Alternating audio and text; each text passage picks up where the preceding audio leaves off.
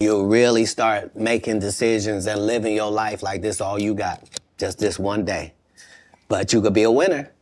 You could be a winner on this day. It just it's just work ethic. And not the work ethic they talk about. They tell you work ethic where they do all these movies. I'm the hardest working man. Well, no, everybody goes to work every day. But Right. Yeah. I'm saying I go to work all the time. Everybody who works goes to work every day. Shut up. Shut up. You get, what? You think I respect you more than my gardener? I don't. I don't. He work every day. Rain or shine. I don't know if you saw this, but Taraji P. Henson got extremely emotional the other day. She was giving an interview Yes. and saying that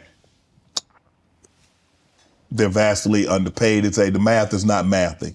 They get X amount of dollars by the time Uncle Sam get his cut, by the time the agency get their cut, and what you see they were supposed to get is a fraction of that. Where, where, do you come down on that, Cat? It was the saddest thing ever because imagine, imagine being in your genre, in your sub niche, whatever it is. Imagine being in your lane. Imagine being one of the very top of your lane.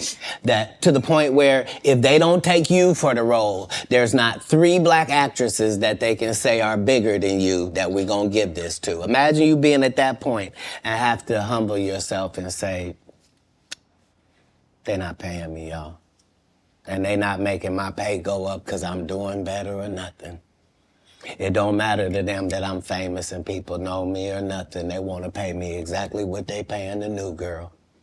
And I've been suffering under it for a, de- a decade now and just taking it. I just been getting whooped.